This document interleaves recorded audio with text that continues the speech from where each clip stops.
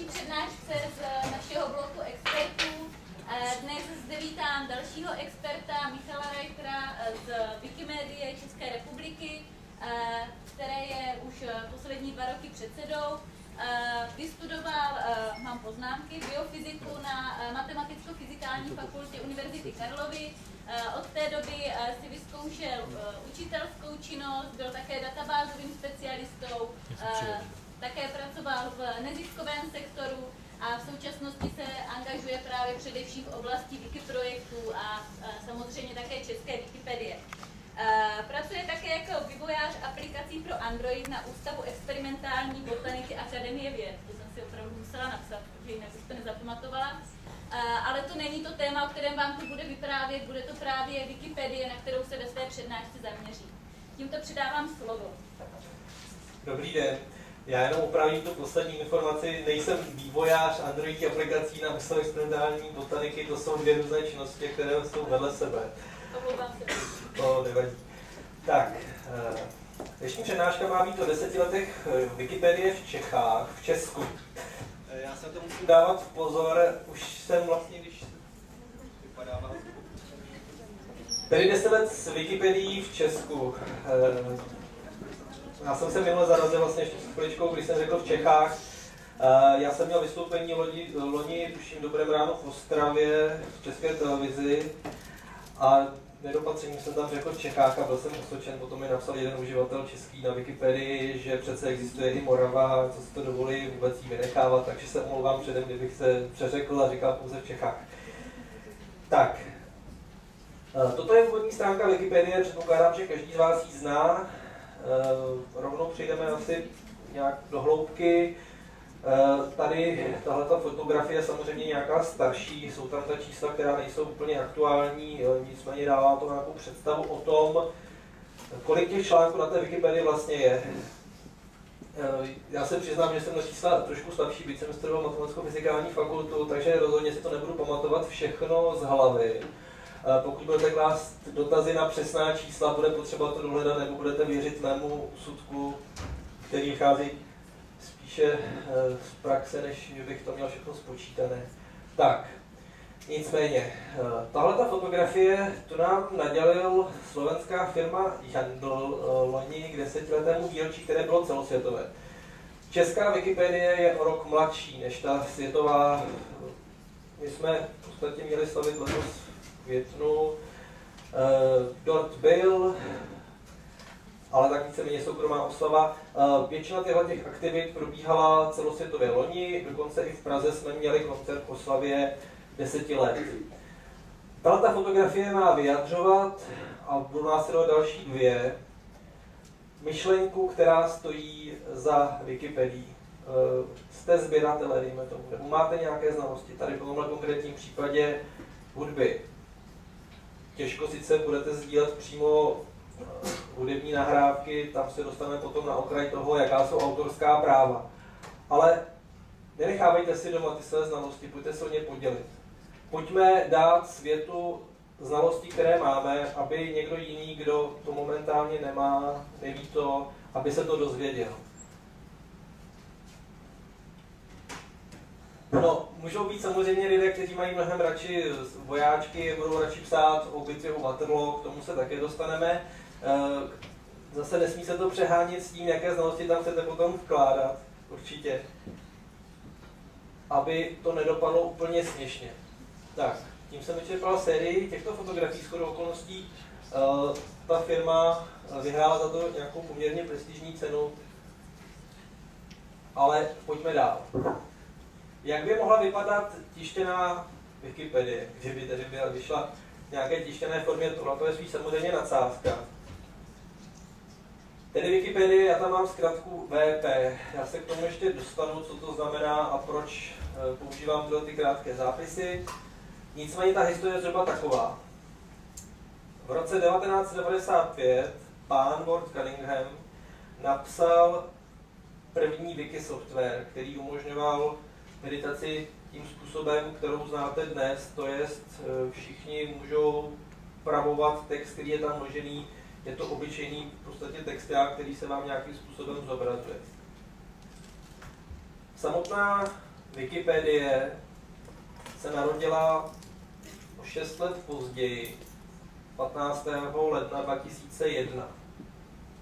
A už jsem říkal, ta česká se narodila o rok později v květnu 2002. Zároveň loni, když proběhlo to desáté výročí o pár měsíců později té světové Wikipedie, tak v Čechách se nám podařilo pokořit eh, možná jednu magickou hranici a sice se Wikipedie stala ta česká mutace největší encyklopedií v Česku. Pokořila aspoň co do počet hesel, článků, jakkoliv to nazvěte, eh, čistě numericky pokořila počet článků na Otově slovníku naučném, které do té doby byl největším naučnou, eh, naučným slovníkem nebo encyklopedií. V době, když jsem připravoval ten slide, už je taky víceméně nějakou dobu, eh, tak těch článků už bylo přes 20 milionů, jestli dobře počítám ta čísla.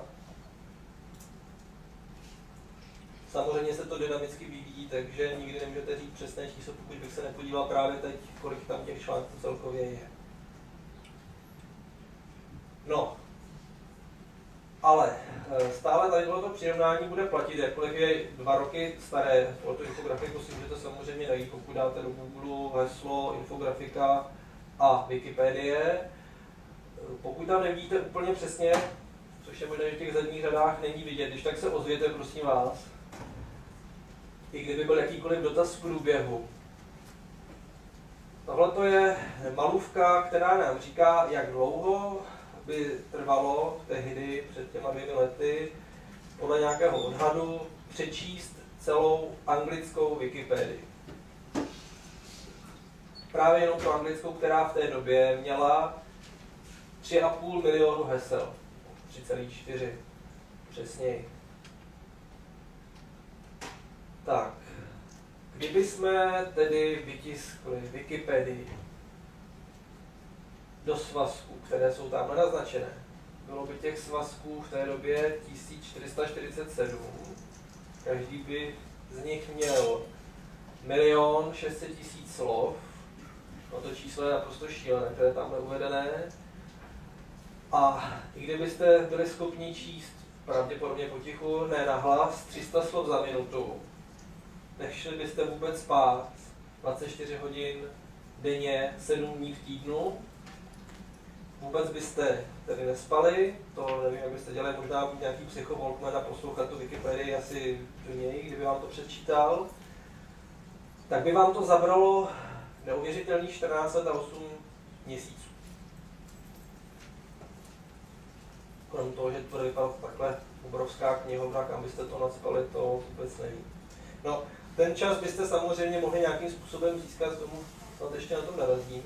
Jinak tady ještě poznamenávám, eh, tohle to samozřejmě na webu, já tam mám krásnou poznámku, existuje, každý si můžete v každém okamžiku eh, stáhnout offline Wikipedii, akorát bude problém, že bude lepší bez těch obrázků, to by se vám nevešlo nikam. Ta offline textová část bez problémů česká na DVD se vejde.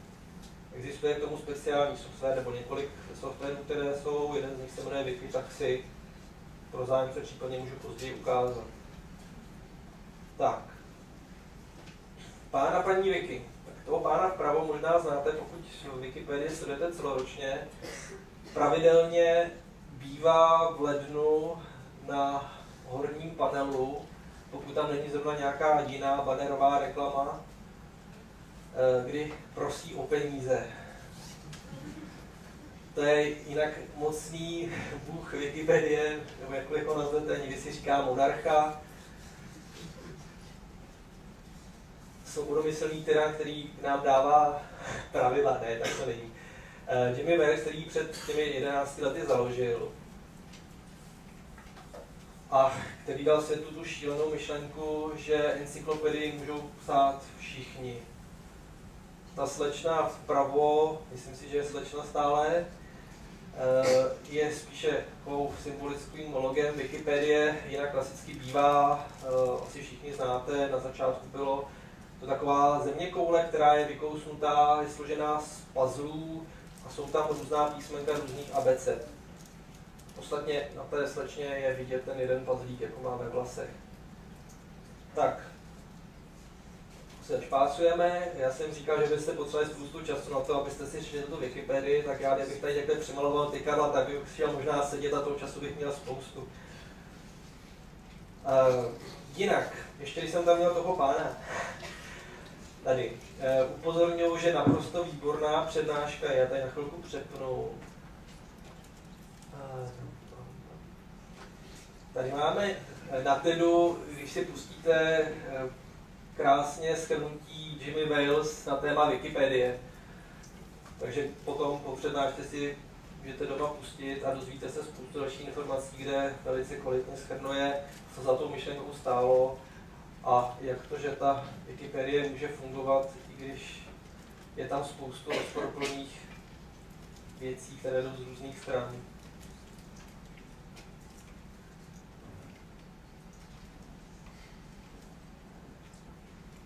Tak, něco málo infografiky.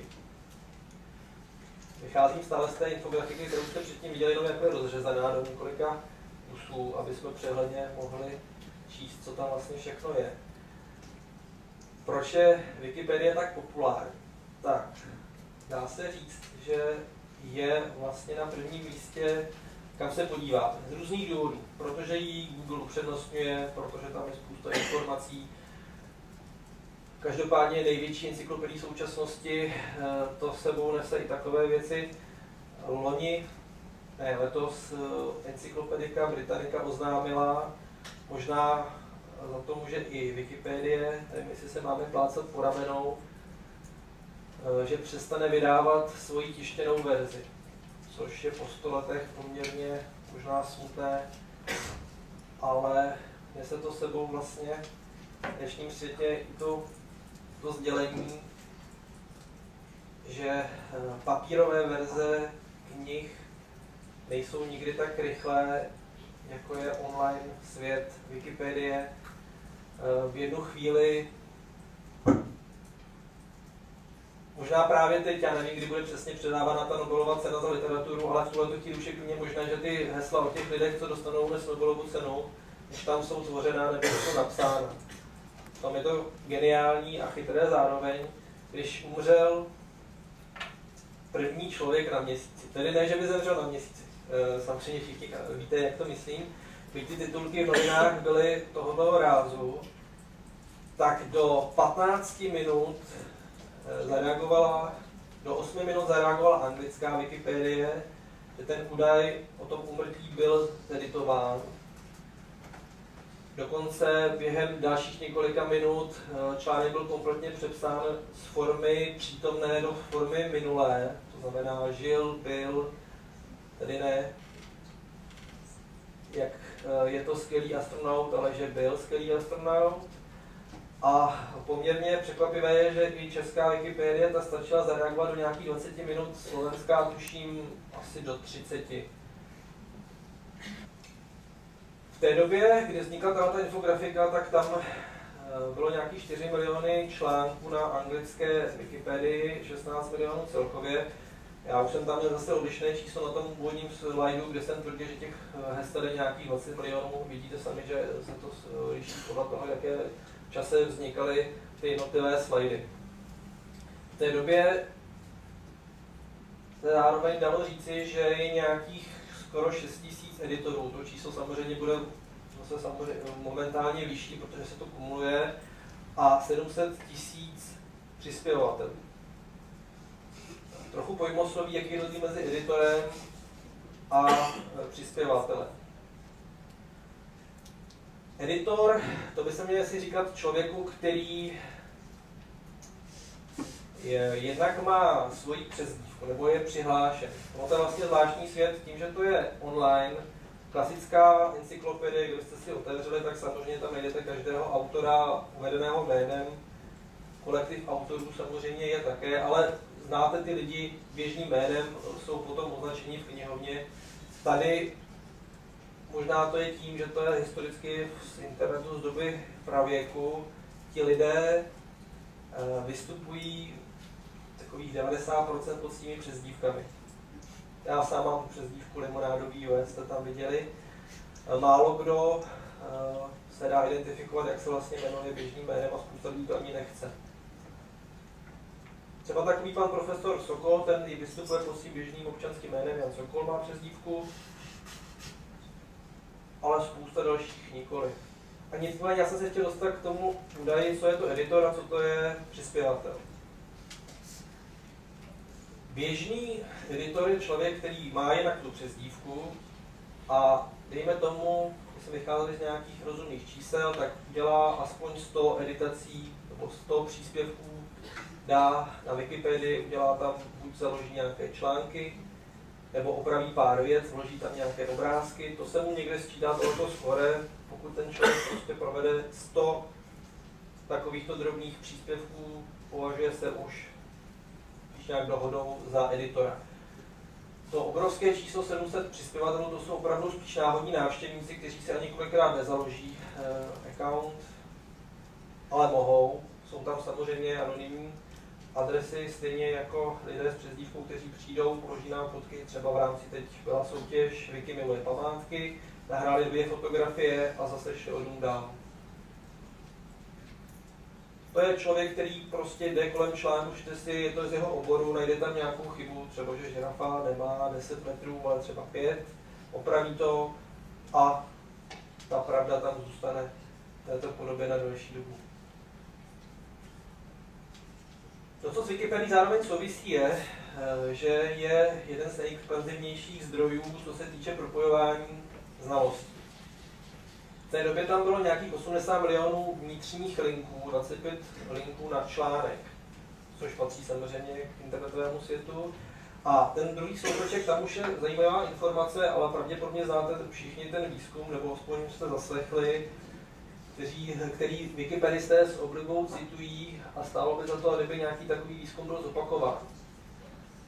Kdysi dávno, takových myslím 6 let, se rozhodli vědci, opravdu klasičtí věci, že porovnají chybovost Wikipedie versus papírové Britanky, nebo její onlineové verze, která se od ní lišila prakticky. A na sérii náhodných článků porovnávali v těch odborných článcích, jaké, jaká je míra chyb článku. A to srovnání vyšlo překvapivě dobře. Je tam proporci, že u Wikipedie to tenkrát bylo 30,87 zhruba chyby na článek, co ta Britannica měla 293, což není vůbec špatné. Každopádně její další výhodou té Wikipedie, krom toho, že tam má nízkou chybovost, že je dostupná prakticky 24 hodin denně, 7 dní v týdnu, je zadarmo, ale teď se dostáváme k druhému problému. Ona se mění a ne vždy k lepšímu. Když budete mít smůlu, otevřete si ten článek v nějaký konkrétní špatný okamžik, před vámi tam byl nějaký troll, který tam vložil nesmysl, a vy nebudete obezřetní, tak si můžete přečíst taky pěknou plnost. Eh, dobré je, když se nejste jistí, že ten článek je v pořádku, podívat se do historie, já vám to ukážu, pokud jste to ještě nikdy nedělali, eh, jak se dá ověřit, co se s tím článkem dělalo. Dále také platí, že málo který článek, opravdu to by musel být vysoce expertní článek, kdy jeden odborník na, na celé třeba Česko, eh, že by byl editován pouze jedním autorem. Tak jako tak zpravidla se tam najdou aspoň eh, roboty, nebo někdo, kdo tam upraví typografii. Málo kdy máte opravdu jediného autora. Často tam potom bývají aspoň drobné úpravy od náhodně procházejících nebo správců Wikipedie, kteří tam potom vloží ty správné údaje. Aby Wikipedie mohla fungovat, já se k tomu dostanu o pár slajdů později, je dobré, velice žádoucí, aby tam byly uvedené citace, kde se ta informace vzala. To samozřejmě můžete vycucat z prstu. Smolíček, pacholíček, že v lese, dejme tomu, informaci tam vložíte, někdo se zeptá, jak je to možné, ty citace my požadujeme na Wikipedii. A samozřejmě nejsnadnější je, pokud tam vkládáte citace, vložit tam citace, které se vyskytují na internetu. tam pouze 33, v té době tedy 33% citací, které byly offline, což sebou ovšem nese to riziko toho, že internet se obměňuje, že ty citace za nějakou dobu nebudou fungovat.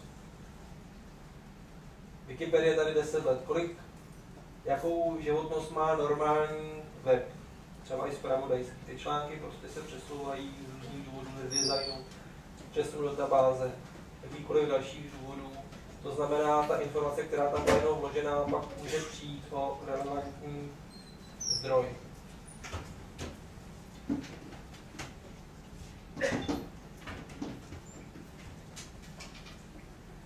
Pár faktů bez ověřit. Eh, kdo si zjistil nějakým záhodným způsobem, nepsal jsem se úplně, jak tenhle ten výzkum vznikal, eh, ale zjistilo se, že podivu špatné počasí vede k tomu, že wikipedisté víc editují. Mimo jiné možná je to svázáno s tím, že v Holandsku mají mnohem víc stránek než ve, Španělské, ve Španělsku. Eh, zase Španělé si můžou říct, že vyhráli mistrovství světa ve fotbale, koho by to trápilo.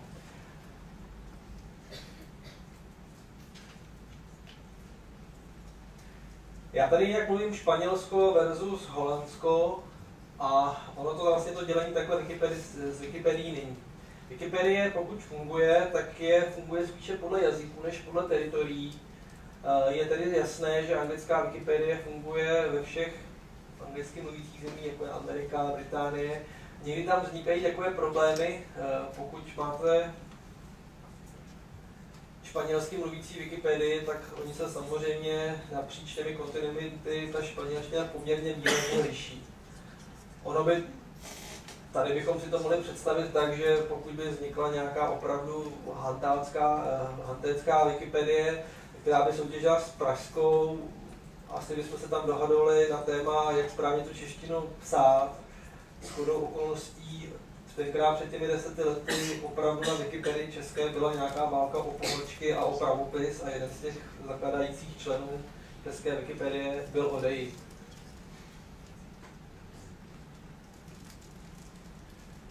Jinak eh, editoři, kteří tam přispívají více, těm se říká často wikipedisté, pokud se stanou ještě dále členy jakéhosi spolku, kteří se združují naživo, spousta z nich právě vůbec, eh, je to zvláštní, oni se se ti lidé znají pouze podle přezdívek.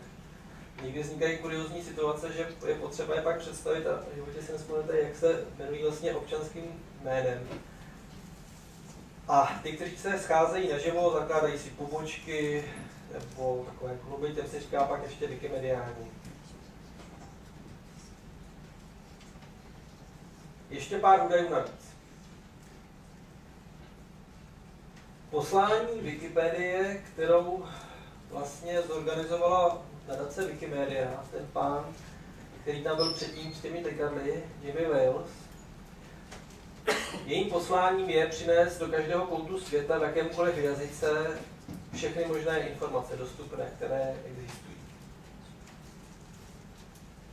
Teď jak to udělat? Když píšete klasickou encyklopedii. Kdo z vás to kdy dělal? Budu vypádat opět teoreticky a pravděpodobně byste mě utloukli, eh, že vy to studujete a já o tom vím velice málo. Ale před, myslím si, že tam to vznikal tento, tento způsob, tím způsobem máme skupinu odborníků. Někdo je vybere, oni se domluví, bude napíšeme tematickou encyklopedii na nějaké téma Někdo nás bude hlídat, bude tam recenzent, ten ty špatné informace vyhodí, každopádně ty lidé se tím musí stát, protože mají akademické tituly, kdyby napsali nějakou úplnou blbost, tak si poškodí své vlastní jméno. Na Wikipedii nemáme skupinu odborníků na každou lidskou činnost. Ta myšlenka naopak stojí na tom, že to může psát kdokoliv. Člověk z ulice, který ví něco třeba o Pikachu. Tihleti komiksoví hrdinové s chodou okolností byla tom přednáška loni v Národní technické knihovně v rámci jaké konference. Eh, slečná knihovnice, která nám tam přednášela, dospěla k závěru, pohledem ufona, který by přistál tady, nevěděl by nic o tom, jak to chodí, by se mohlo zdát, že Tomáš Garik Masaryk je stejně významný jako Pikachu. Pokračovala dál. Eh, jak k tomu dojít? No, byste museli vzít nějaká kritéria kvality, jak takový článek měřit. Prvním testem, který by Tomáš Garik Masaryk asi obtížně prošel tenkrát, bylo překvapivě délka článku, byla minimálně srovnatelná, nevyšel vítězně. Další věc, kterou byste mohli poměřovat kvalitu toho článku, je, v kolika kategoriích se nachází. Má-li vůbec svoji vlastní kategorii. Tam, myslím, tenkrát prohrál, naštěstí jsme to ještě během té přednášky opravili, takže se to nějakým způsobem srovnalo. Ale abych nezabíral do, do, do podrobností, tady je vidět, eh, že kolikrát ty články vznikají kvalitativně, jejich kvalita je úměrná tomu, kolik tomu věnujete času. Když je někdo nadšenec, tak je schopen dlouhé hodiny prosedět takového článku a udělat z něho super kvalitní článek. Tomu se opravdu říká kvalitní článek nebo dobrý článek a nejlepší článek. To je zažitý terminus technicus na, na Wikipedii, který pak má nahoře takovou zlatou hvězdičku, aby se poznalo, že je opravdu výborný. A je spousta oborů, které nikoho nebaví. Si budeme povídat z mého oboru biofyziky, tam najdu velice málo kvalitních hesel. K tomu, jak schánět potom experty v těch různých oblastech, si ještě něco povíme. Pokud mi zbyde čas, si se tady nezakecáme. A dostanu se k těm plířům, jak takovou encyklopedii online tvořit. Tak, je potřeba zachovávat encyklopedický styl. Být neutrální a pokud možno být ověřitelný. Aby jsme vůbec dali Wikipedii dohromady. To jsou ty tři základní pilíře. Možná si vzpomenete, letos eh, byly poprvé státní maturity, aspoň myslím, že poprvé, a spousta lidí vyletělo z češtiny. Vůbec se netrefili do stylu. Měli psát recept o palačinkách, pokud se nepletu, napsali tam úplně jiný vzor, prostě za pět, protože se nestrefili do stylu. To je problém, na který vyletí spousta. My nemáme nic proti tomu, aby si třeba firmy tam psaly články o sobě. Takhle a priori to nestojí. Problém je kolikrát v tom, pokud teda splní všechno další kritéria, že oni ten článek napíšou vyloženě jako PR, píšou ho jako reklamu, nepíšou encyklopedickým neutrálním stylem. Takže za pět hnedka na poprvé článek musí pryč. Takový článek se poměrně záhy maže. Ono splnit tyhle ty tři kritéria, pokud přijdete opravdu z venku a ne, chcete rovnou napsat celý článek, je problém. Proto spousta lidí začíná tím, že opravuje dvě, tři věty, jsou pak poučení, pokud a dostanou se korporacích se k tomu, že napíší nějaký rozumný článek. Povím o tom později něco víc. Tak, něco málo zajímavostí. Eh, kdo vlastně edituje stránky na Wikipedii a proč?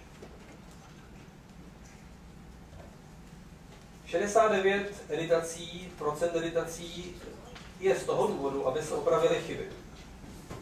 Nebo se uvádělo tenkrát v tom výzkumu, ten průzkum je skoro každý rok. Lidé editují Wikipedii, protože se jim líbí ta myšlenka vůbec sdílet své znalosti. Já jsem říkal, že ty lidé jsou z ulice, nicméně i mezi nimi najdete poměrně, aspoň těch, co se přiznávají ke svému vzdělání, musím jim věřit, těžko se to ověřuje, 19% tvrdí, že má titul, aspoň magisterský, a 4,5% má doktora. Když jsem sem šel, tak jsem viděl nějakou slečnu, která mluvila pravděpodobně na svého milého, ne, podle, podle té pointy.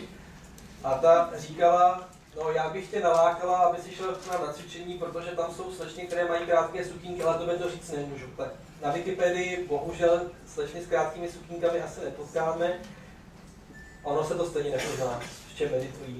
Ale je tam asi jenom 13% žen, těch čtenářů je to trošku lepší, tam je nějakých 31%. Doufám, že se to zlepší. Tak, opět slečna, wikipedistka. Není wiki jako wiki.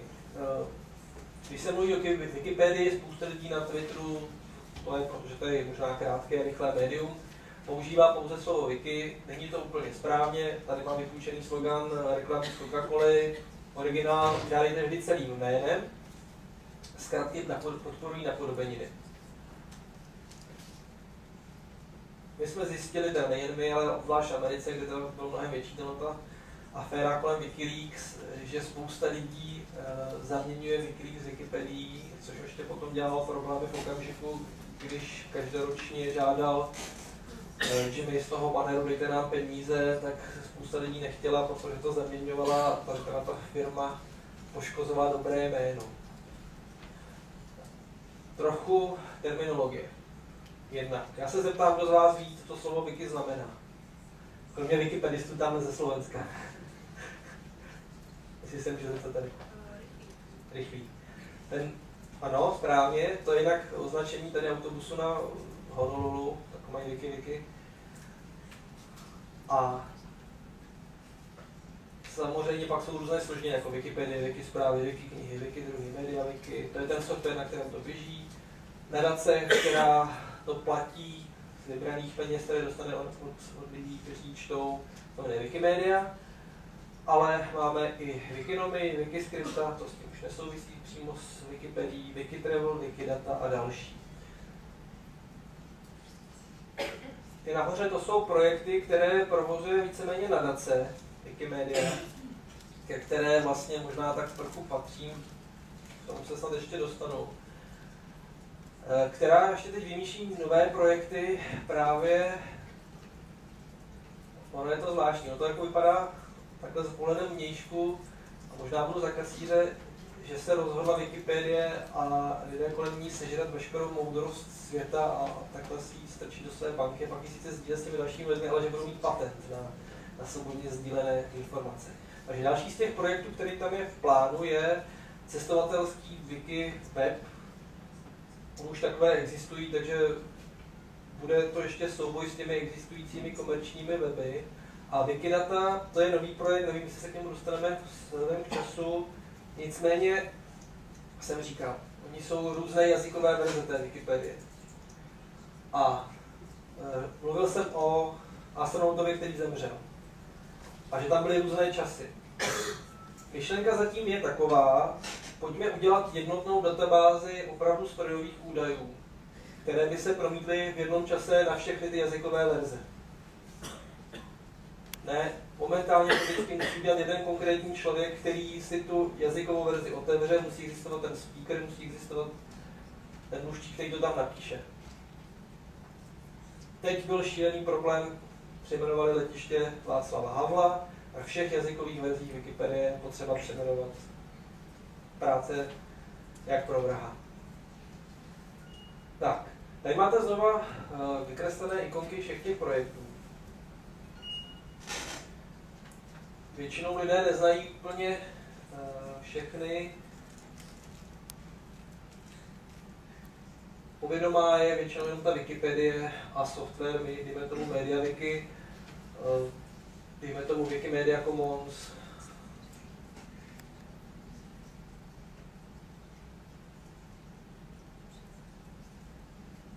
Kdo z vás slyšel alespoň o čtyřech z těch projektů, které tam jsou jmenované?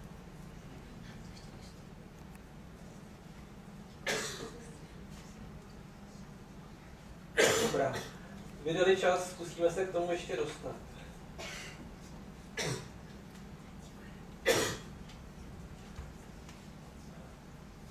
Tak, něco málo pravidlů, které drží tu, nebo pilíře, které drží na Wikipedii pohromadě, když se buduje jsme encyklopedie, nebo se aspoň o to snažíme.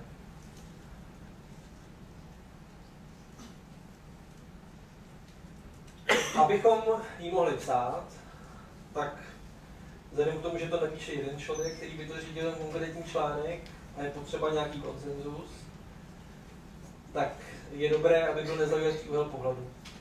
vaše levá strana z mého pohledu by mohla mít jiný názor než tahle ta pravá strana na téma, jestli jsem tady z této strany hezký nebo z této strany hezký, dejme tomu. Teďka byste svedli bitvu v tom wikipedistickém článku na téma, jak to vlastně je. Správně by pak bylo napsat, podle některých je zleva hezký a podle některých je zprava ošklivý. Další z těch plířů je svobodné dílo, což je chování a to, že některá pravidla nejsou neměná, dá se o nich diskutovat.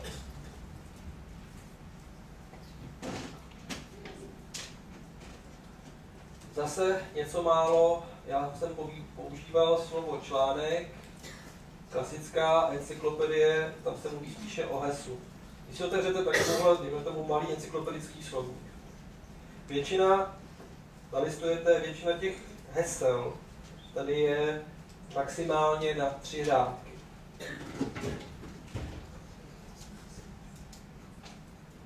To opravdu je klasické heslo, třířádkové, které by často na Wikipedii jen tak nepřežilo.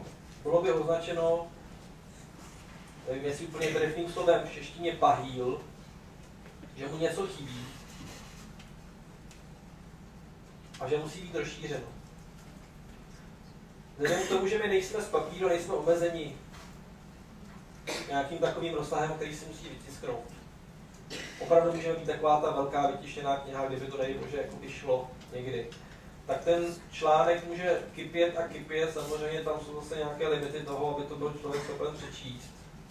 Ale těm autorům nikdy nezabráníte, aby tam nenapsali všechno, co o tom najdou.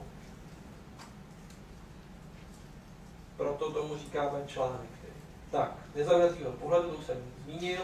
Eh, krom toho, na každou věc, kterou tam napíšete, je dobré říci, odkud se to vzalo. Přistane vám tam prostě nejhůř nějaká šablona citace je potřeba.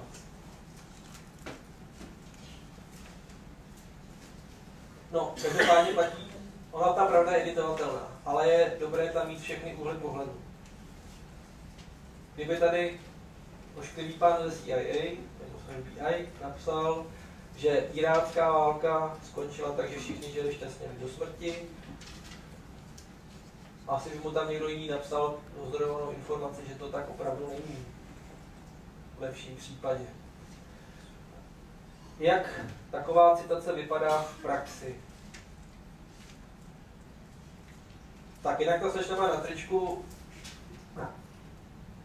Takový drzý citát, že Wikipedia je přesná a, a tohle to potřebujeme ozdrojovat. Nicméně v tom článku vpravo o Miroslavu Singrovi, který zřejmě vystudoval Pražské gymnázium arabská, to je ten třetí řádek. A pak je tam spoustu dalších informací, které máte potom dole té sekci reference, tak ten článek měl vypadat z toho pohledu, že ty informace jsou dohledatelné. U toho gymnázia arabská to v té chvíli nebylo známo.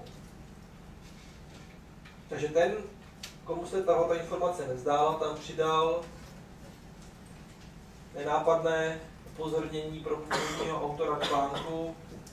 Ty, ty, ty, ty jsi tady nedal úplně všechno, to si mohl vytucat z prstu, prosím doplň to. Nejlépe pak ještě případně tomu autorovi napsat na jeho diskuzní stránku, prosím přidej, nebo na diskuzní stránku toho hesla. Je velká pravděpodobnost, že autor toho článku má ten článek ve svých sledovaných článcích, takže mu přijde informace e-mailem. A pak to časem doplní. Pokud by to nějakou dobu nedoplnil, nefunguje to prosím vás automatizovaně, ale pokud by to poměrně dlouhou dobu neodstranil, ten chybějící zdroj nedoplnil, tak je velká šance, že za čas někdo přijde a tu informaci, zejména těch kontroverzních věcí, by úplně smazal. Takže v tomhle případě pravděpodobně ne.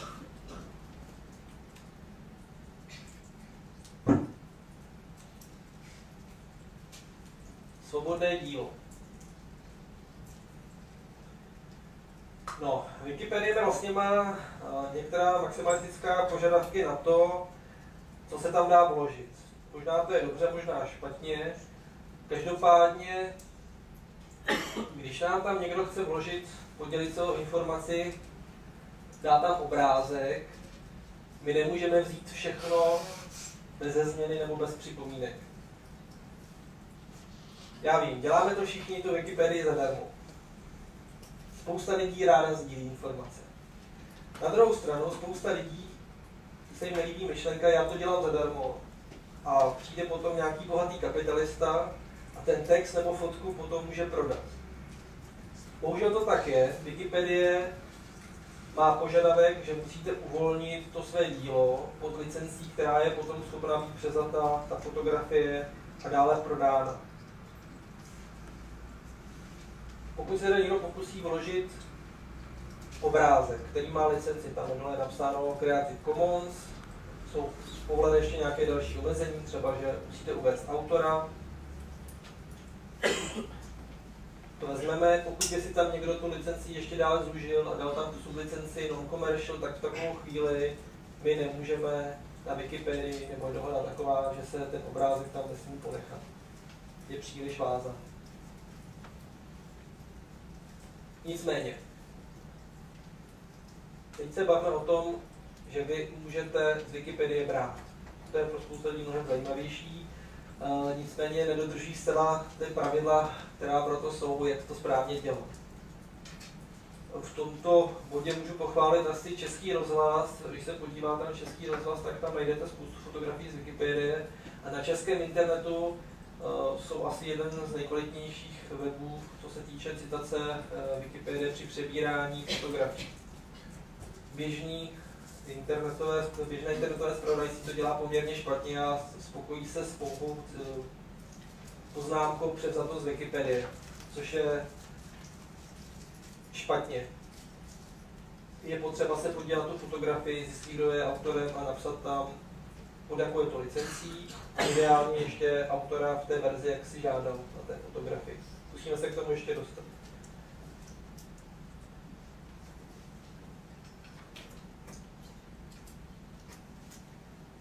Tak, autorské právo.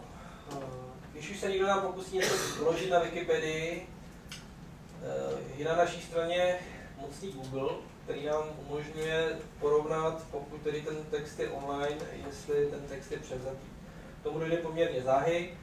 Eh, pokud by byl nějaký dotaz, jestli na to máme nějaký rozumný nástroj, tak myslím si, že v tuhle chvíli, aspoň v Čechách, v Česku, není žádný rozumný nástroj. Myslím, že sice univerzita Masarykova má nějaký textový vyhledávač pro tyto účely, ale v jeho dispozici nemáme.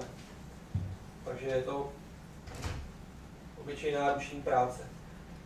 To, co je na naší straně, je to, že samozřejmě všechny ty změny jsou, vybíhají na speciálním místě, na stránce posledních změn.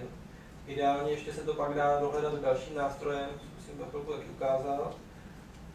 Takže správci, kteří to hlídají, vidí, jaké změny proběhly. Eh, protože Wikipedie je psaná víceméně skupinami různých lidí a každý máme nějakou historii, když tam píšeme, to znamená, někdo píše dlouhodobě dobré články, někdo prostě jenom čas tam napíše něco, někdo prostě jenom vkládá nějaké odkazy a myslí si, že to zpropaguje jeho web. Ta historie je dohodatelná byť třeba přes IP adresu, tyhle ty, problematic, tyhle ty problematičtí editoři, respektive problematické IP adresy samozřejmě vyskakují v červených v červených bodech na hlídacím nástroji a ty jsou mnohem víc podezřelí a ten zásah potom následuje mnohem rychleji než u těch prověřených autorů. Pokud já bych se teď nedej bože rozhodl při svých, dejme tomu, 10 tisících editacích, že teď se tam začnu vkládat nesmysly, ne samozřejmě každá editace by byla nesmysl, ale jenom za 100 editací bych vložil nějaký nesmysl, tak ta šance, že ta editace nesmyslná přežije mnohem vyšší než u někoho, kdo prostě přijde z ulice, je úplně nováček a bude tomu administrátorovi vyskakovat úplně nahoře jako problematický. Neprověřený. No. Aby nám to drželo pohromadě, taky dobré, aby jsme se k sobě slušně chovali.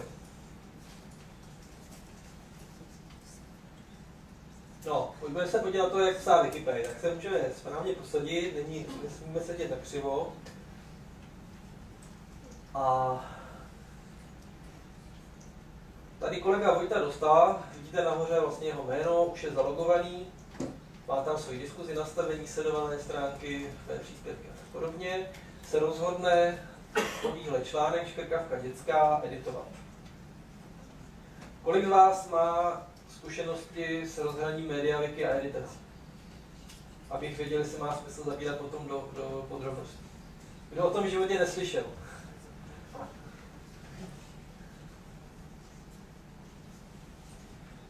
Já ještě tak potom přeskočím, já jsem tam připravil takovou vsuvku, ale ne úplně, byla by to improvizace, tak to přeskočíme. Tak to vypadá samozřejmě vnitřek té stránky. Je to ošklivý texták. To, že to je takhle napsáno textově, má mimo jiné potom nevýhodu, protože když byste to chtěli zpracovat nějakým robotem, vyhodnocovat, tak je to poměrně problém. Eh, kus těch údajů samozřejmě lze, třeba ten taxobus, který je vlastně nahoře, ten se dá celkem rozumně pracovat počítačem. Já tady tuhle ukázku naživo přeskočím a dojdeme k tomu, jak se to hlídá. Dejme tomu, zanesli jste do článku škrkavka poznámku, že škrkavka má 5 metrů. Nebo že aspoň vy jste chytli škrkavku, co má 5 metrů, koho to zajímá, že? Ale nám tam ty informace často školáci vkládají. Obzvlášť ráno mezi 9 a 11 to je peklo, tam ty články jedním za druhým, omáčka je blbec, nám tam chodí a spoustu dalších věcí. A teďka jak to hlídat? Tak, někteří z nás, eh, kteří jsme wikipedisti, se obětujeme, koukáme na poslední změny. Může to dělat každý. Každý může vrátit editaci. Skoro všichni wikipedisti nebo jsou si rovní. Ne, že by tam byl kastovní systém, jsou tam nějaké, někteří lidi mohou trošku víc, ale v zásadě všichni můžou skoro všechno. Je fakt, že tím, že víte více té Wikipedii, tak samozřejmě jste rychlejší, efektivnější, můžete s tím bojovat víc. Klikám na poslední změny. Máte vlevo běžně na té Wikipedii v tom levém proužku. Něco takového mi vyskočí. Co tam je všechno vidět? Je tam vidět, od začneme. Nahoře jsou ty nejaktuálnější údaje, 25.9. byla tato stránka dělána. Rytíři Klazo. Pravděpodobně nějaký hokej. Snad správně. Člověk s přezdívkou Jaroslav Ondráš, 13 hodin 17 minut, provedl změnu, která přidala dva bajtíky k tomu článku. Je tam vidět, to je zprávcovský rever, to znamená, že tam předtím proběhla nějaká nesmyslná editace, kterou on odstraňoval. Pak tam máte choře, taky správce, proval, správcovský revert. Dále jsou tam vlastně vedle těch, potom sloupečku, kde je rozdíl historie, kam si budete kliknout, co se tam vlastně stalo. Jinak na tu historii, kde opravdu víte z toho konkrétního článku, a tam se dozvíte, co s tím článkem se všechno dělo.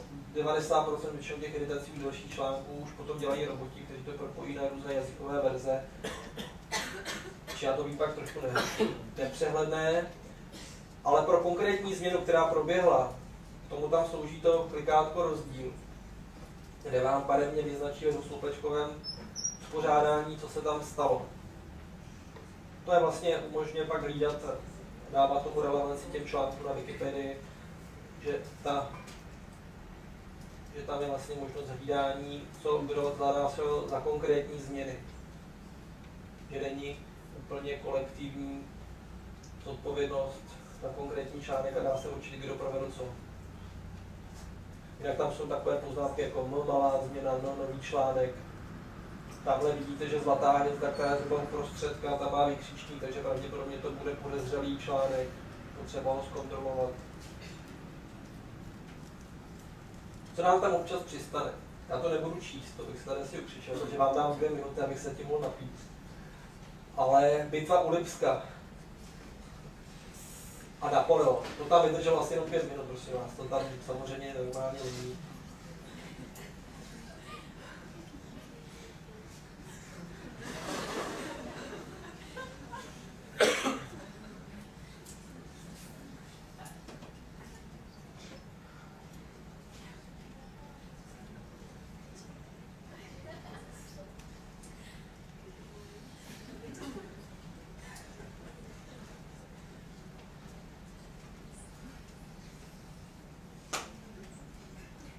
Tak, eh, trochu kuriozit 2, to už jsou trochu kratší kuriozity, to tam dokonce má i, můžete tam někde vypátrat, je tam nějaký kabinet, kabinet kuriozit na Wikipedii,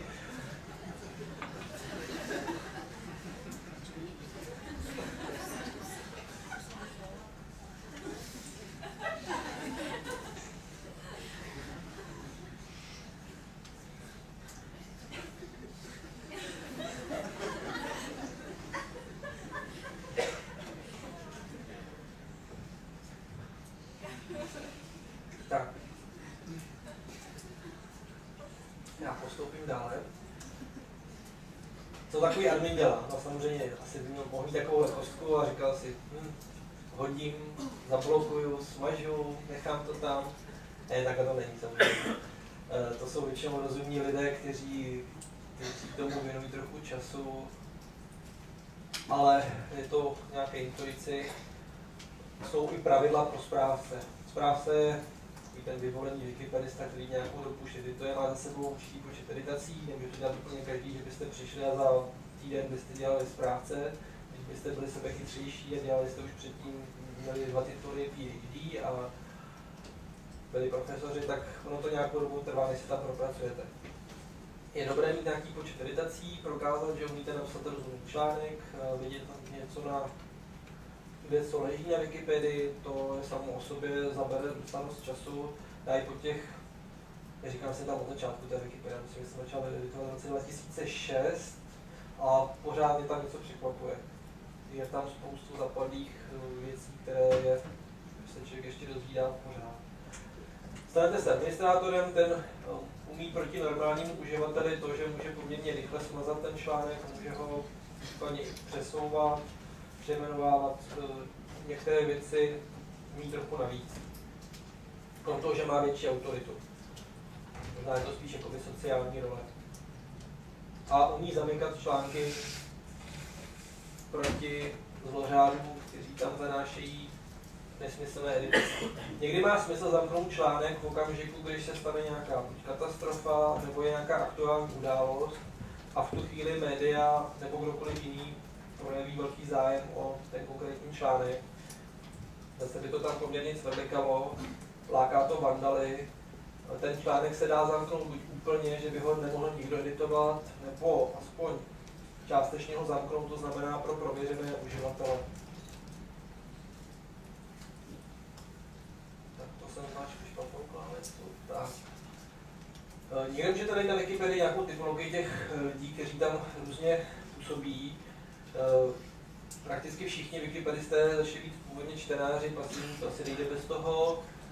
Potom si prošli přes editora drobných zásahů, někdo z nich potom je zakladatel pahýlista. Tam vlastně platí to, že ano, editor drobných zásahů, no vlastně platí to, že běžný člověk, pokud přijde z ulice, tak ani neví, jak má pokračovat. Málo komu se chce psát něco prostřed pouště, ve spoustě těch odborných oblastí to neexistuje, ono napsat celý ten článek nebo aspoň založit rozumný pažinu, který splňuje všechna kritéria, není úplně jednoduché. Tak to jsou pak ti zakladatelé pažilisté. Pak jsou tam takový korektoři, turisti, kteří čistí češtinu, dělají klasické korektorské práce. Vyzrálý autor ten napíše ten článek s takovým prvním od začátku do konce, je tam jako hlavní autor občas mu tam potom ten článek edituje nějak spíš robot, než, než by potřeboval pomoc nějakého dalšího wikipedisty. Pak jsou tam takový ti správci, editoři, hlídači, kteří na to mají různé speciální nástroje. Tak. A já teď uhnu od té klasické encyklopedie Wikipedie k tomu, co zatím stojí, za těmi lidmi, za tou nadací a za těmi lidmi, co to posouvají nějakým způsobem dál.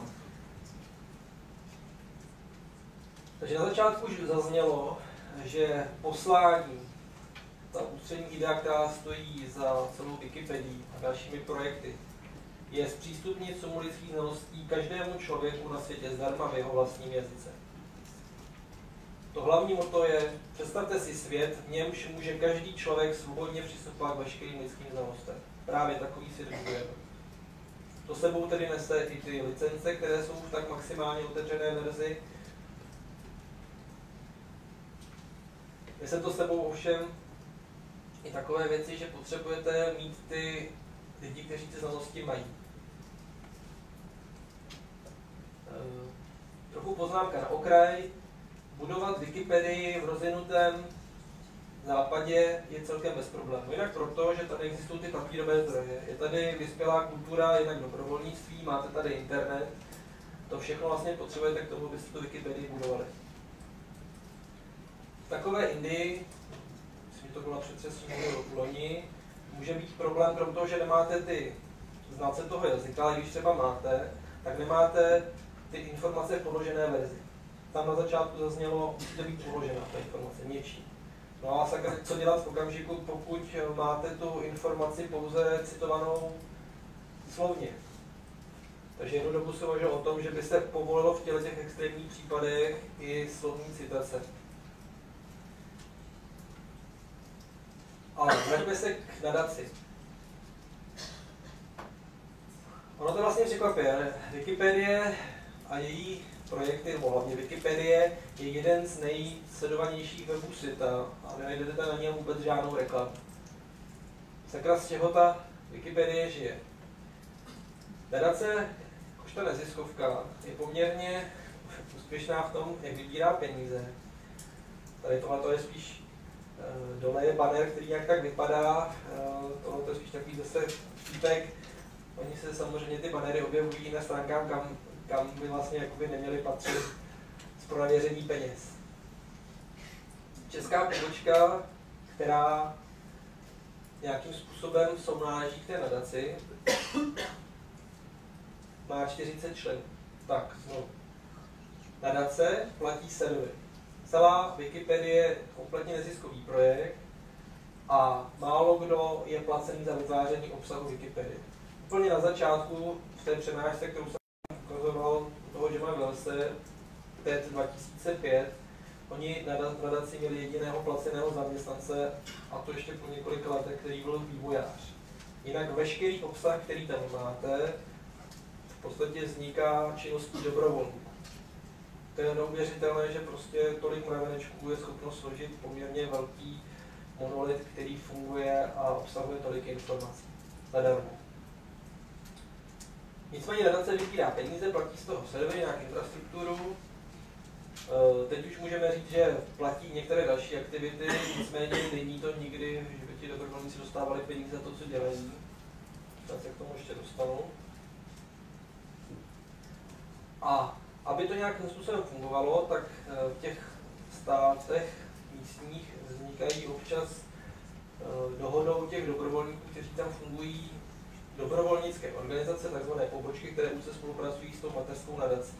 Ale pak připošle nějaké peníze například, nebo je to dobré mít tu pobočku z toho důvodu, pokud chcete pak jednat s nějakými oficiálními institucemi a domluvat se s nimi třeba na sdílení zdrojů. Oni vám třeba nazdílejí kompletně svůj archív, to se stalo v Německu. V Čechách možná třeba někdy vyjednáme, že nám v budoucnosti ČTK uvolní nějaké své historické archívy, nevím, je to možné. Národní radě, bylo by to úžasné.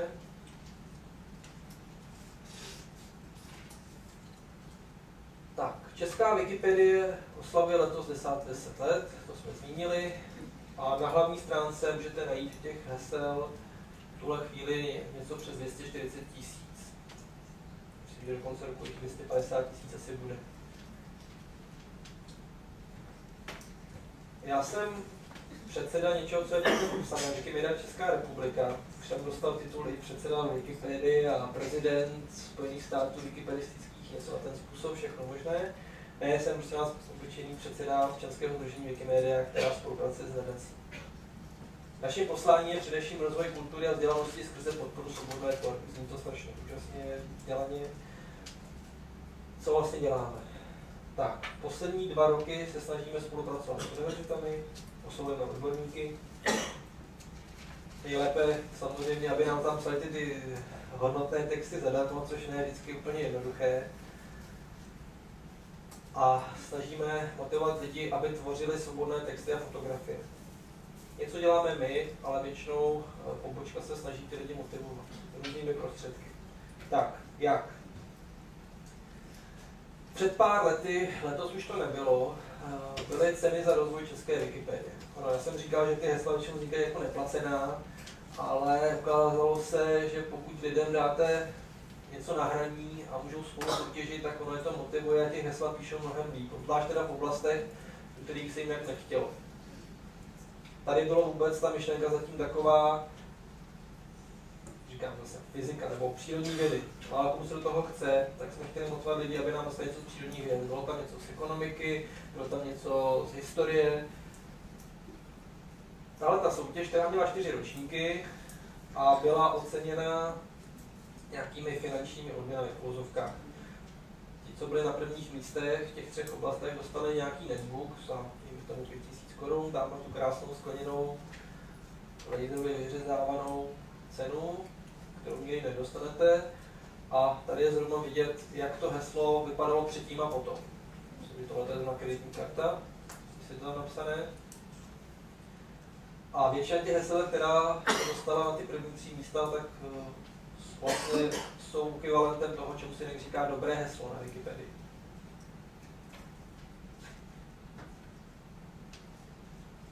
Další, co podporuje naše pobočka, je, jsme si, ne, že jsme to vymysleli přímo my. Ten projekt zase vznikl spíš zahraničí a my jsme ho převzali, byl úspěšně implementován, ale máme tady uh, lidi, kteří to umí dělat, je studenti píší Wikipedii. V Americe, kde to vzniklo, tenhle ten projekt, myslím, tam se tomu říká spíš jako ambasadorství. Já tam mám pár slajdů, vidíme, kolik je času, abych to všechno probral. A základní myšlenka kolem toho je, no, nám uh, Wikipedii jinak lidi kolikrát nikdy nevěří, to je pochopitelné vzhledem k tomu systému editování těch hesel, že to může psát každý, ale školy umí vytvořit celkem relevantní informace. Běžně se tam píšou ročníkové práce, semestrální práce. Pojďme se domluvit s těmi studenty nebo s tou školou. Vy to napíšete, pojďte to dát k nám. No, zase na druhou stranu, co by, co by oni z toho měli, že nám to tam dají. Ještě zase suvka, jak se na běžně na Wikipedii koukají ve škole, samozřejmě chodí takové ty fousaté vtipy, že se bez Wikipedie dneska nedá vystudovat, nebo že naopak z Wikipedii. Kantoři to neradí vidí, na středních školách běžně eh, se ty referáty vpisují se prdou. S chodou okolností jsem vykládal tu část minulý týden v pátek, tak jsem vykládal historku svého eh, spolužáka z Matfizu, který je učitel na střední škole, dal referát z oblasti, kterou sám zpracoval na Wikipedii. Eh, paralelně s tím mám pocit, že jsem zadal na Facebooku jedna kolegyňka, z Brna, taky měla stejný zážitek, že jí student přinesl referát, kompletně přehodí z Wikipedie a shodou okolností byl ten člověk autor, tak jim říkala, prosím, prosím tě, až to budeš opisovat, tak jsme si dali pozor, že jsem náhodou autorem toho článku na, Wiki, na Wikipedii. Je to někde bohužel smutné. Uh, a tam ještě smutnější to, že to kolikrát ti lidé, když to opisují, ani si dají pozor na to, že by vyhodili takové ty značky editovy, které tam jsou ty naprosto zjevné. To, to už je teda opravdu, že podceňují inteligenci toho kantora, když už nic jiného. No, ty postoje jsou tedy samozřejmě různé, ale z toho, že se prostě úplně, na, úplně kompletně ignorují Wikipedii. Je zakázaná Wikipedie, to je někdy pochopitelné, aspoň co, co se týče používání její, pokud byste ji citovali ve své vysokoškolské práci, není to asi vhodné, kromě obrázků. Tam to relevantní naopak je. Ale eh, pokud byste to vzali prostě jako odpichující zdroj, něco jako pro další bádání, asi se to dá vzít. Ostatně ani normální encyklopedii byste neměli používat, myslím, běžně na své diplomové práci. Tak. A o co nám jde, pokud chceme navázat spolupráci? Teďka zase nejde o to, že bych já vás tady lákal, co se psát, ale já zkusím zhruba představit ten projekt. My se snažíme vytipovat nebo oslovovat kantory, aby začlenovali Wikipedii do výuky. Někdy to dává smysl. Spousta těch Někdy to je tak, že prostě i ten učitel sám je nadšenec do nových technologií pro nová média. A nedělá mu to vůbec problém. Takže dohra je taková, pojďte nám nastat seminární práci, eh, bude tam participace Wikipedie versus ten kantor. Kantor bude vidět klasickou kvalitu té seminární práce. Wikipedisti pak budou hlídat takové ty věci okolo, jako se to správně opravdu cituje v těch našich měřítek wikipedistických. Historický exkurs, to rychlosti položíme. No, e, samotná ta iniciativa vznikla někdy v roce 2010, v Americe myslím, a pak se rozrostla, protože ty znalosti nebo tyhle ty projekty se šíří napříč tou komunitou wikipedistickou, která se schází. E, my se neznáme naštěstí jenom opravdu z toho online světa a podařilo se nám třeba v Praze, už jsou ty Praze celkem pravidelné jednou za měsíc, ale celosvětově se ta komunita schází v rámci každoroční konference a tam ti lidé referují o tom, co se jim podařilo. Takže se poměrně rychle rozšířil ten program v rámci Global Education Program po celém světě. Tady to bylo na začátku roce 2010 v Americe, dvě různých univerzit, o semestr později už vidíte 22 univerzit, 54 kampusů ambasadorů, 91 online ambasadorů, 33 kurzů. Ty čísla neuvěřitelně naskočila. No, tady byl vlastně zádrhel, někde se to podařilo celkem bez problémů ale zase to narazilo někde na nepochopení. Vůbec principu Wikipedie. V Indii to byl totální selhání. Tam vůbec nepochopili na způsob těch škol, že se nemají krásit texty a běžně prostě copy-paste, byli to na Wikipedii, upisovali. Tam se to bohužel muselo tenkrát zarazit. Ne vždycky to vyjde. Tak, teď máte asi nějaké přezdívky života čítů, Juan Dev, Reon, Vojtěch Dostal, ten jeden z, nich, z nich má celkem rozumné jméno, které koresponduje s tím, jak se jmenuje v praxi. Dá se najít na české Wikipedii, tady pod tím letím VP ambasadorství, tuším, nebo se to možná přestěhovalo a není problém. Mám dokonce pocit, že do teďka jim běží od Google reklama, když zadáte Wikipedie, škola, nebo něco takového podobného, to jsou ty klíčová slova, která to funguje, tak vám tam nahoře vyskočí taková ta kontextová reklama AdWords, a studenti píší Wikipedii. Kdybyste to hledali. Co z toho má Wikipedia víceméně jasné z téhle spolupráce? My dostáváme nové kvalitní články od poměrně kvalifikovaných lidí. Kus těch lidí potom i na té Wikipedii často zůstává, což je dobře. Slabina těch malých jazykových mutací je v tom, no anglická je na tom samozřejmě dobře, ten princip toho, že uděláme relevantní informace, že to bude nějakým způsobem věřitelné v tom, že tam je hodně očí, které to kontrolují. My jsme malý rybníček, to se tohle týče. Tady je šance, že najdete nějakého kvalifikovaného experta, náhodně, poměrně malá. Takže buď musíte ty lidi vyloženě vytipovávat, nacházet, ale eh, opravdu tím, že nás málo, tak ta šance na kvalitní heslo úplně, že vznikne samovolně klesá. Je to uměrné velikosti komunity. Bohužel.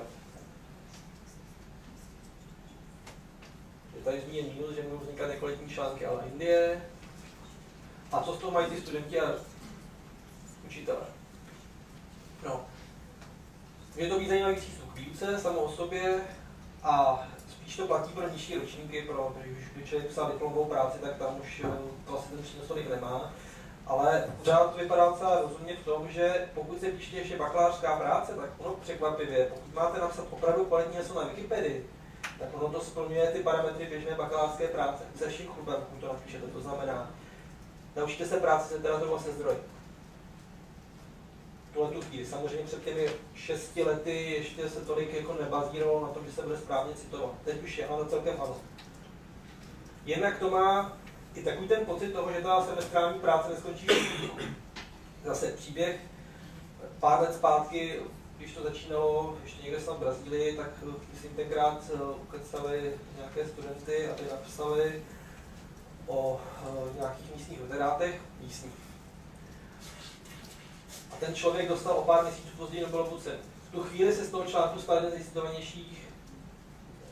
pro tu lokální Wikipedii. Je to skvělý pocit, že váš článek potom přebírají noviny. Není jenom tak někde šuplíku. Tady jsou nějaké zmíněné spolupráce. Eh, tak určitě vím o té Přírodovědecké fakultě Univerzity Karlovy v Praze, je tam nějaká pedagogická fakulta, snad byla nějaká rozdělená spolupráce s institutem trochu a subtropů. Filozofická fakulta Univerzity Palackého v Olomouci. Tady snad myslím, ale to není ani spolupráce přímo, že bychom to novovali my, ale zaslechl jsem teď na veletrhu památek po víkendu, že tady na Brněnské univerzitě snad je nějaký nadšený kantor, který už předem dával nějaké semestrální práce, aby se psali na Wikipedii články. Ostatně dá se to najít v novinách. Mám tu výtisk novin, můžu vám případně ukázat, co všechno vlastně bylo dojednáno a jo, to ne. Tak, nějak tam ty články píšou, tady jsou na bátku nějaká hesla, které jsou mohli proklikat.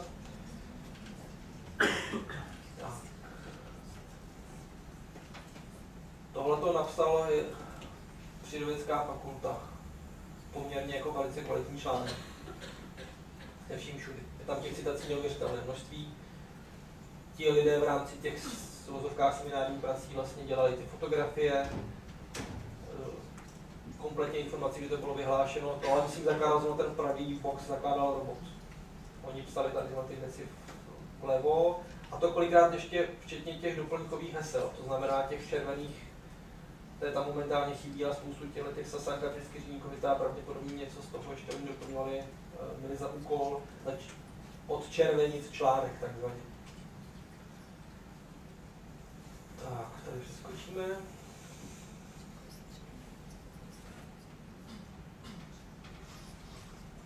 No, jsou tam nějaké překážky, zpočátku ty učitelé většinou nedůvěřují, eh, někdy se taky může stát to, že oni se až příliš věří, a vznikají tam občas kopivy. Uh, to se z druhé strany je vlastně možná paradoxní. My motivujeme ty lidi, aby nám tam ty články psali, ale my jsme Wikimedia, oni jsou Wikipedia v vozovkách, a oni se pak bojí vlastně těch lidí, kteří přijdou. Protože oni nemusí rozumět všem těm pravidlům, kteří je tam požehnaní. Takže můžou pak vznikat ještě takové ty třenice mezi tím, co vlastně mazat, nemazat, upravovat, aby ti lidé se báli, jim do toho šáháme. A můžeme to nějakým způsobem ulehčit a já poběhnu dál. To ještě poměrně dost. Máme tam zajímavé další projekty. E, svým způsobem i ten projekt, který tam před chvilkou byl vidět, eh, ten jeden článek, ten byl kolem chráněných území.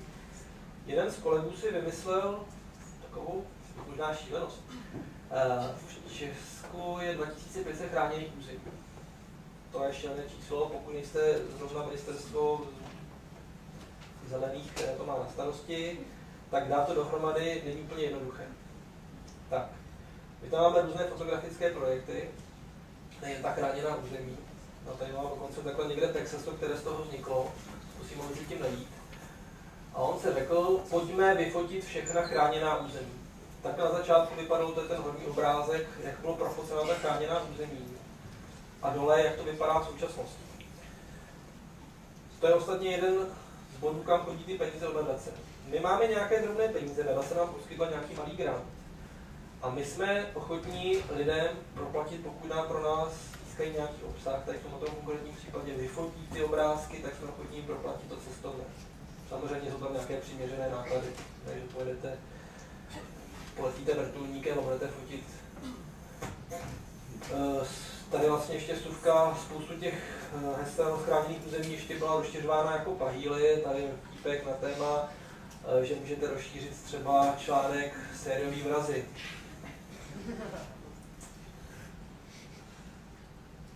Jinak, co je to teda ten pahýl? Pahýl by byl článek, který by měl jednu větu, dokonce super pahýl. Kura lesní žije zejména v lese. Pak tam přistane takovýhle dole, taková nálepka, toto je pahýl. Ano. Jste tady v rámci překážek mluvil o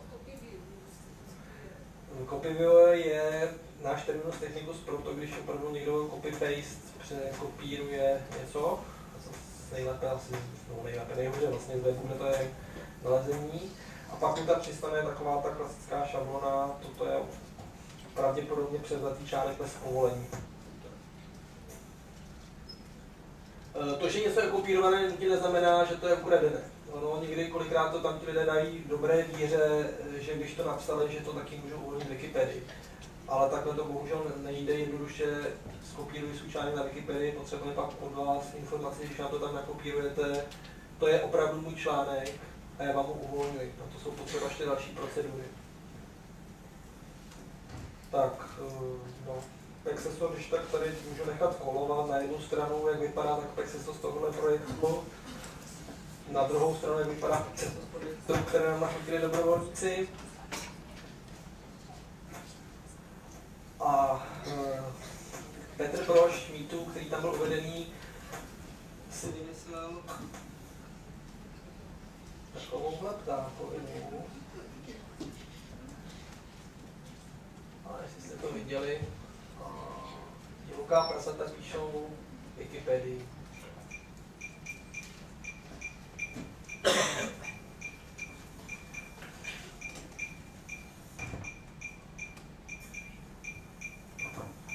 A nebo jak se schání zájemci pro psaní Wikipedii.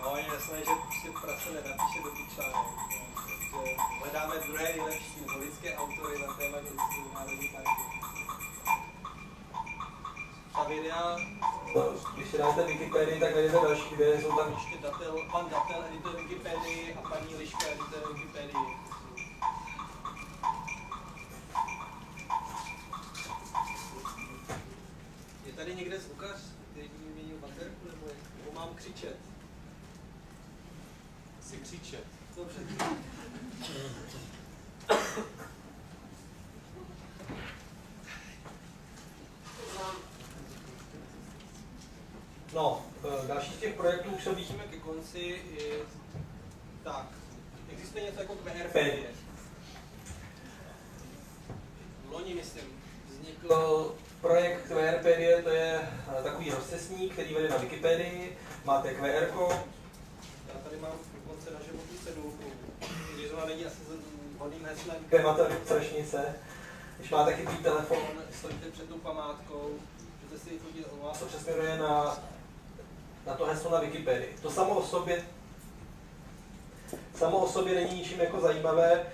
Eh, těch QR kódů momentálně máte celkem hodně. Eh, tady, co je unikátní vlastně na té Wikipedii, je to, že ona umožňovala, a to je pak ideální spíš kombinací s tím, že máte někde Wi-Fi, nejlépe asi někde v muzeu. Přijde cizinec, který neumí ten jazyk, samozřejmě můžete nabídnout, že se to může najít na tom mobilu rychleji, než to tam vyklepe. Ale tady eh, bylo zajímavé i v tom, protože ten původní projekt byl pro konkrétní muzeum, eh, tak ten rozcestník, kam to vede, tak Wikipedie, tak podle, podle jazyku vašeho telefonu vám vyhledá, pokud existuje to jazykové heslo na Wikipedii, protože ty mutace mají samozřejmě nezávislé články, tak ono vám hodí ten konkrétní jazyk.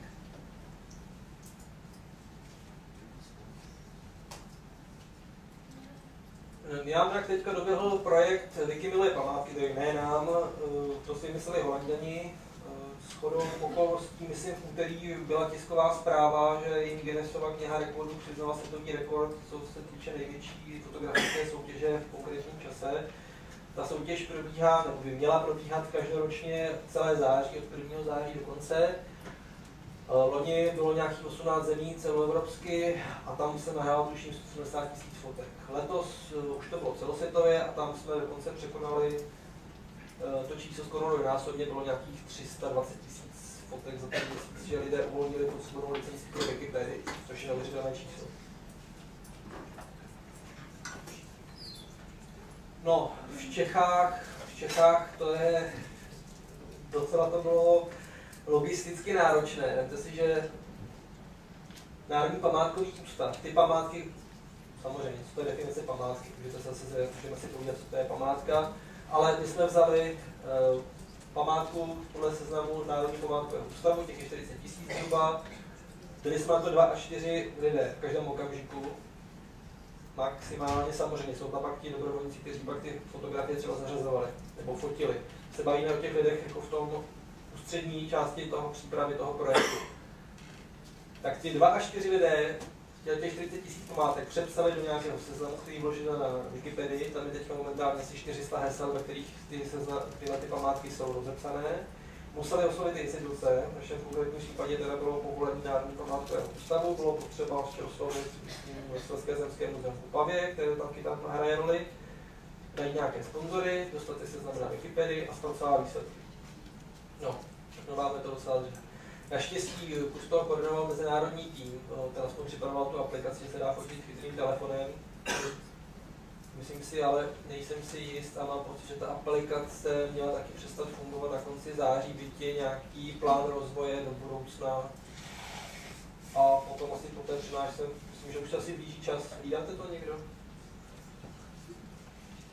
Můžu případně zájemcům ukázat ještě, jak to funguje. No, Samozřejmě, když chodíte pro Wikipedii, tak jsou tam nějaké problémy, u nás naštěstí až tolik ne.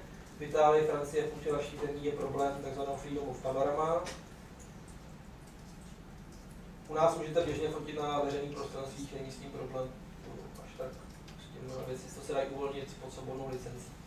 V Itálii, Francii, tady ta Eiffelovka, proč je ta Eiffelovka? Eiffelovka v noci uh, by se neměla vlastně nahrát na Wikipedii. Proč? Ona samozřejmě ta stavba je starší než, než 100 let Problém je v tom, že v noci na ní svítí něco, co vytvořil člověk, který ještě stále žije. V tu chvíli je to bráno jako umělecké dílo žijícího autora a vy to nesmíte vlastně uvolnit osobnou licenci, protože to podléhá autorskému zákonu.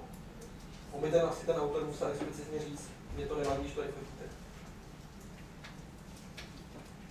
U nás, kromě těch chráněných území, ještě běží dokumentační projekt eh, foto českých obcí, to je něco taková jakoby zmenšená verze Google Auta, které jezdí po těch českých obcích a fotí. A máme i další kontaktní projekty, kdy chodíme, říkám, na přednášky, tomu. ale byla Bamberiáda v Praze, zkoušeli jsme dělat takové šílenosti jako pokusy z fyziky. Že natočíme třeba ty fyzik, pokusy z fyziky, z chemie, dáme to na Wikipedii. Ukázalo se, že úplně ty nejmladší lidé človíci, děti, sice ano, seznámí se z Wikipedii, jak to funguje, ale ta šance na to, že by pak někdy, kromě toho, že by byli pasivní čtenáři, není moc velká, že by nějakým způsobem přispěli. Mnohem perspektivnější jsou potom univerzity třetího věku. No. A poslední snad, co tam je, je v tuhle chvíli ještě dobíhá den finanční gramotnosti, to zase obdoba těch cen za rozvoj Wikipedie, akorát ta oblast, která je pouze finančnictví. Mám si to správně jmenovat dva měsíce